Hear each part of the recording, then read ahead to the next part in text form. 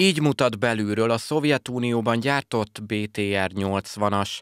Alig ha parkolt korábban ilyen páncélozott személyszállító harckocsi a Nyíregyházi Bánki Donát Műszaki Technikum és Kollégium udvarán. Most ezt is megcsodálhatták az iskola diákjai. Emellett katonai mentőcsónak, katona egészségügyi autó, két műszaki funkcióval rendelkező rába tehergépjármű is felsorakozott a Magyar Honvédség által szervezett haditechnikai bemutatón. Régebbi eszközök is megtalálhatóak most itt, illetve újabbak is, hiszen ezek az eszközök tökéletesek arra, hogy a fiatalok megtanulják a, szakma rejtélyeit, hogyan kell egy harci járművet szerelni, mert nyilván ez egy teljesen más típusú szaktudást igényel, mint hogyha autószerelők lennének csupán. A választás nem véletlenül esett a bánki iskolára, a Magyar Honvédségnek ugyanis nem csak harcoló katonákra van szüksége, hanem úgynevezett támogató személyzetre is.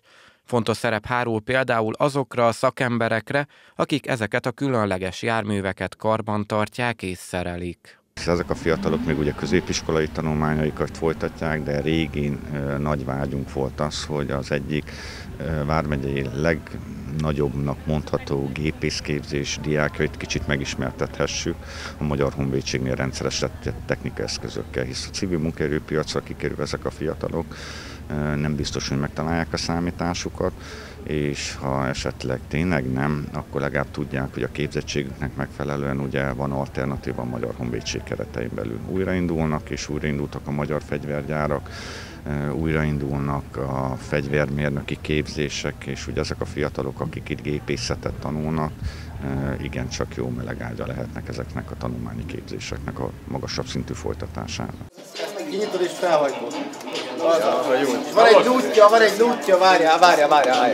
Nézd meg, itt nézd csak ezt a részét, ide kell tenni, ez az első elektronikus mechanikus szerkezetet, ide is vele, hogy ide essen be, látod? És most lenne tűzkész a fegyver, most tudnál 11, most 10 kiló, ami rajtad van.